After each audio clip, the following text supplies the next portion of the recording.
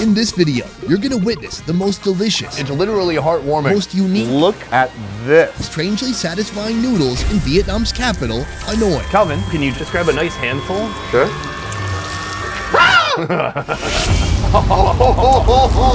But first, let's back up. In this series, we're taking on the ultimate Vietnamese noodle tour from the north Guys, have you ever just seen one giant flat noodle like this? To the central region. We're in a tiny, very local noodle factory where they're one of the only places still making this noodle the old fashioned way. all the way to the south, deep into the Mekong Delta. Oh, I see it, dude. There's a steaming pot of broth on her boat. Hi, Xin Chao. Uh, Calvin, please translate. Today, we're taking on the familiar with a little bit of a twist. I've never had this in Vietnam. What would you call this? So, all the way to the creepiest bowl of noodles in town. Going from these live creatures to something you can eat on some noodles. That's wild. It all starts here. The noodle tour has officially begun. We're starting right here in Hanoi, and I am in the kitchen ready for a noodle eat breakfast. The pho most people are most familiar with internationally would be beef pho, but actually here in Hanoi, chicken pho is super popular. This place specializes in all things chicken pho. The amount of ingredients you can get here are insane. Unlaid chicken eggs, chicken butt, chicken pancreas, but before any of that, you have to start with the bon pho. That process is actually starting right now beside me. Steamed rice noodle sheets, the foundation of every pho dish. Made from rice flour, cornstarch, water, salt, and rendered chicken fat. Apply the batter to a steamer for a few minutes, and you get this. Okay, here we go, the big moment. So she uses a wooden rod to slowly peel that layer of bun pho off, and then she's gonna hang it up on the drying rack. Uh-oh. There's not a hole in there. Oh, after this cools down, they're gonna bring it to a different station and cut it into those beautiful pho noodles that we're also familiar with. I want to complete a childhood dream. I've always wanted to just put one of these in my mouth. This is a bon pho that's already cooled down. Do you see how it's not afraid of a man's touch? That went a lot differently in my mind. It's very pillowy, almost squishy and soft. Could use a little bit of broth. Assemble the noodles, spring onion, herbs, and chicken meat. Then level it up with a clump of boiled unlaid eggs, chicken pancreas, fatty chicken butt, and this. Did you know you could eat that? Starting to move. Finally, top with more veggies, and to tie it all together, a delicate, heartwarming broth. The vibe. Feel the heart. It's literally heartwarming. It's like if your parents give you a hug. I imagine. I've read about it in books. because they never actually gave you a hug, did they? Yeah. One time. Uh, they thought I was someone else. Joining me on this cross-country noodle tour, my good friend Calvin Bui. Noodles are something that I grew up with. It's probably my favorite dish to eat in the whole entire world. I love the texture. I love the variety. I love the versatility. This is one of my favorite, kind of unknown but still underrated ingredients in the world. Like this would have become an egg if you gave the chicken a little bit more time to poop it out. And yes, I mean poop it out. Do you guys know where the eggs come from on the chicken? There's not a separate egg hole. Let that sink in. Oh. It's so creamy. I mean, it's more creamy than any chicken egg that's boiled. The texture is very much like if you mix the egg white and the egg yolk together. It made a little omelet, but that was still in a spherical shape. Mm. Delicious. I'm told this is a pancreas. Pancreas bone. It's very livery in taste mm. and texture. Also very lemongrassy and fatty, kind of dark meat. Oh, having that fresh noodle appeal truly is making this bowl a 10 out of 10. When I tried it earlier, it had really almost no flavor to it. It was just about texture. Obviously, all the flavor here is coming from the broth. It gets soaked into the noodle. I mean, look at how thick these are. It's like a scroll. Do you want to write a, a story on there? This is one of my favorites. I've never had this in Vietnam. What would you call this? This is from a rooster. It's the back part of their mohawk. It's the coxcomb. The co- Yeah, say that, you. I said cod cub one time. You got mad at me. My favorite word? Hmm. Gelatinous. Has a little gamey flavor. Yeah, it's fatty, although mine was infused with lemongrass too. It is a different type of texture, and I think that's the point of all these meats as you move through the bowl, is to get different tastes and textures of this piece and that piece. Right here, we have chicken butt. Oh God, you're boring oh, bar. Oh, it's so good. I love chicken butt, and I used to be afraid because it was, you know, had the word butt in it, but I've learned to love butts. and I cannot lie. That's right. This next noodle is a beloved staple of Hanoi, even though its main source of protein may be a major turnoff for some. I'm here to find out if this is an acquired taste or love at first bite. Look at this. Stunning. Me or the snail? Both? But one of them looks slimy. I will not say which one. Dozens of different snail species are eaten throughout Vietnam, from freshwater to oceanic, from very, very small Wow, look at that. to shockingly huge. This thing is a monster. Here at this family owned restaurant, they've been serving freshwater snails with noodles for over 70 years. Why do people love the snails so much? ốc này nhiều canxi Full of calcium. it's good for you and it's organic. How do you know when it's a good snail? I mean, I'm looking the snail in the eyeballs. It won't even make eye contact with me. Mình đi mua ốc mình phải chọn In the morning at the market, she'll put the snails into a bucket and she'll submerge it with water. The ones that are alive will sit upright with the shell looking towards the sky. But the ones that are dead will go upside down and just show you their booty. If she's gonna buy a snail, it better be a snail that she can murder herself, correct? Of course she does. The snails are boiled, then hundreds of them are dug out of their shell one by one. I understand when you make a beef stock or a chicken stock because they've got bones, but how do you do it with a snail? nước luộc con ốc này ra She boils the snail. She mixes that in with certain herbs and a special rice wine vinegar. Add in tomato, chili paste, and spring onions to create this earthy broth. Now, the assembly. First, add the noodles. Like pho, bun is also a rice-based noodle. Boon is such a legacy dish. It's come from our ancestors. It's something that you see in everyday life. It's an OG. O-N, original noodle. Top with a batch of snails, spring onions, and heartwarming, steamy, tomatoey broth.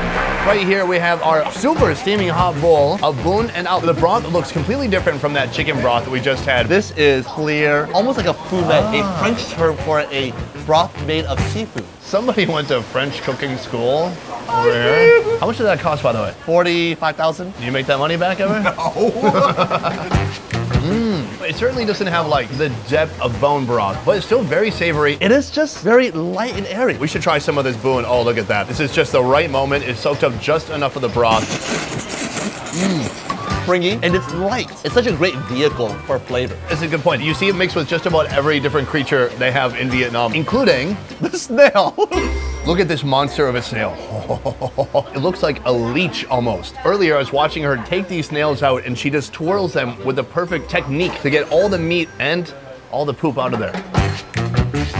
Mm-hmm. so, so special. Wow, that one was briny. Intense seafood flavor. Somehow it's meaty and crunchy at the same time. It's like a cartilage. Yeah. And there's very few things in life that have those two textures together. Absolutely. Oh man, I'm in love. I know like if you get a close-up of this snail, it's gonna look weird and bizarre and a little bit funky if you've never tried it before. It's like you have to try it and become acquainted with it. Then you start looking at it and you go, oh, I know you look kind of ugly, but boy, you taste good. Soon, we'll see how this slimy creature has crawled its way into one of this city's creepiest bowl of noodles. It's like the scene in Indiana Jones. But before that, this. A double dose of noodles for one seriously low price. It's called banda Cái cua. món bánh đa cua này ăn nó rất là ngon, nó thanh mà cái này nó cũng đầy đủ hết các cái chất như là chất xơ, canxi, đạm đỡ đầy đủ cho nên là mọi người rất thích cái món này. Wow. Tucked deep inside a local market hidden away from the main streets, Miss Foom is serving up a recipe she inherited from her mother over 30 years ago. Mẹ chị dạy là nguyên liệu là mình phải mua đồ tươi, làm là phải sạch sẽ cẩn thận. Như thế thì khách người ta mới tìm đến với mình, nhất là trong chợ. In a bowl, add some poached veggies, then two types of rice noodles, a brown one and a white one. Top it with fish cakes, slices of beef tenderloin, crab paste, then a savory broth made by boiling pork bones and crab paste for hours and hours. I've never had this before. I've never even seen it. This is bandana. Banda. It's like bandana Ah, without all the extra syllables. Right, Bandana. Let's get the broth. Oh, those are the flavors that I love. Just that really seafood-esque flavor. Yeah, like if you steamed a crab and then you wrung it out like a towel, it would taste like that. That's how she did it.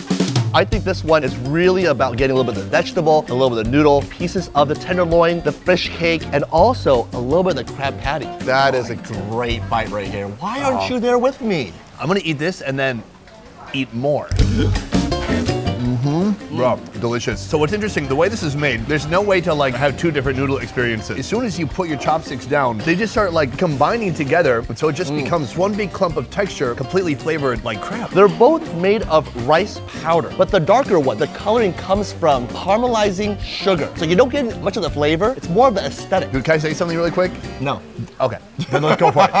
Mm.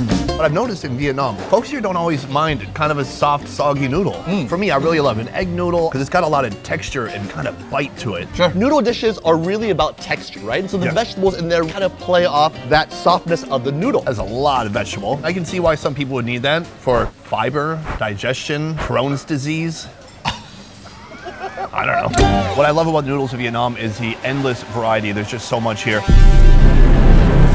Noodles I've never seen before in my life, but I gotta say, pretty good. I may have spoken too soon, because now I'll be faced with this a type of noodle that isn't for the faint of heart. But there's no turning back now. Recently, I went to the USA and I went to many Vietnamese restaurants and see like 98 different Vietnamese foods, but they won't have this. Yeah. Pounds and pounds of live eels. Why did she just cheer when it came out? I don't know.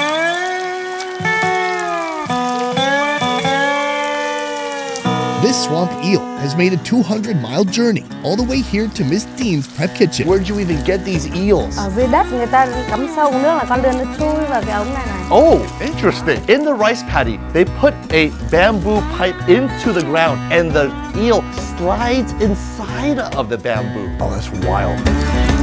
This eel is the foundation for her famous noodles. Noodles she's been selling for the last 36 years. Here's how it works. These smooth skinned, slippery creatures are dumped in their final stainless steel resting place. Oh, Yeah, what's that like? Oh. It feels slimy. It's like the scene in Indiana Jones when all the snakes are just slithering away through crevices and hands. If he rubs that on his face, is that good for his skin? Massage được đấy.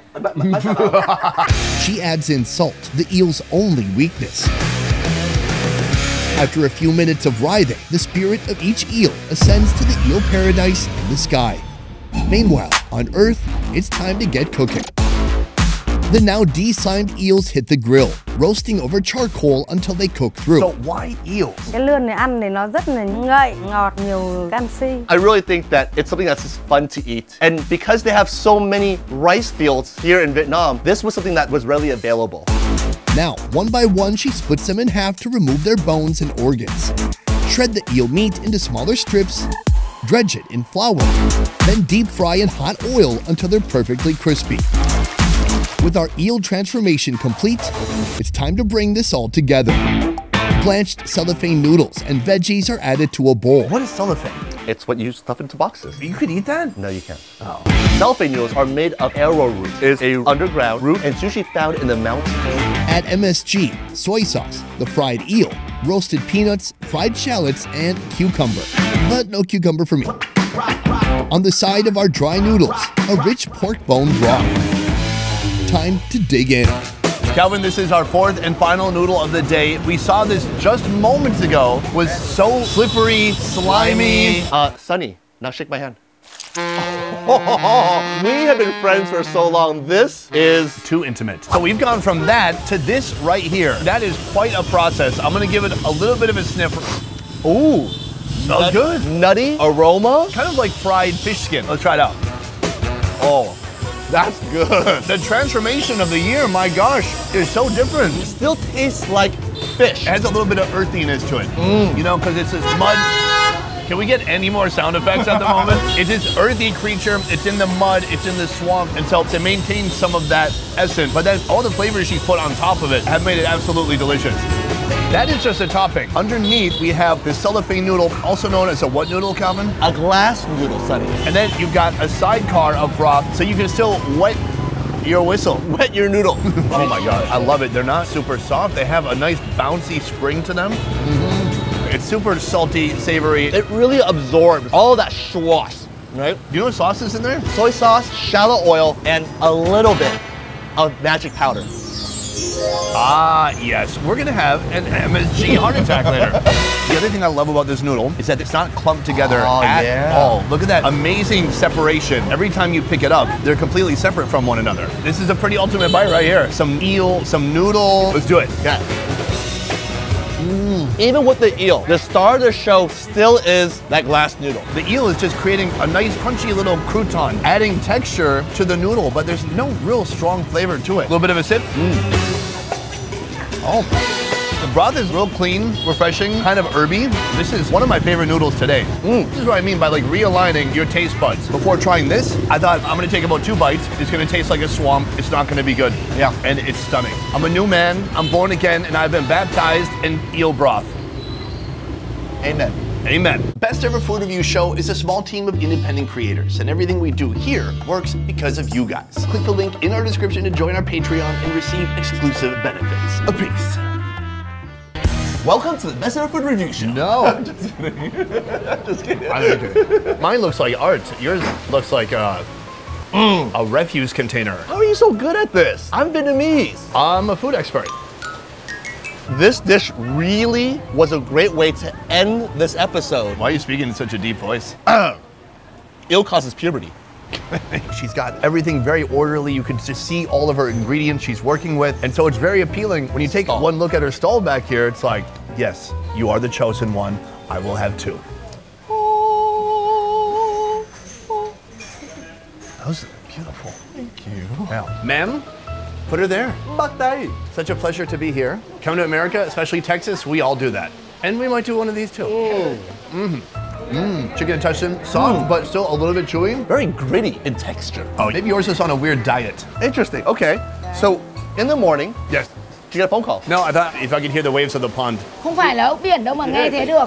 This is one of my favorite noodles today. It's like the Jake Paul of noodles. It's an underdog. It's like you can't box and he's knocking out Tyron, Tyron Woodley. Woodley, Ben Askren, Nate Robinson, the basketball player. You know each.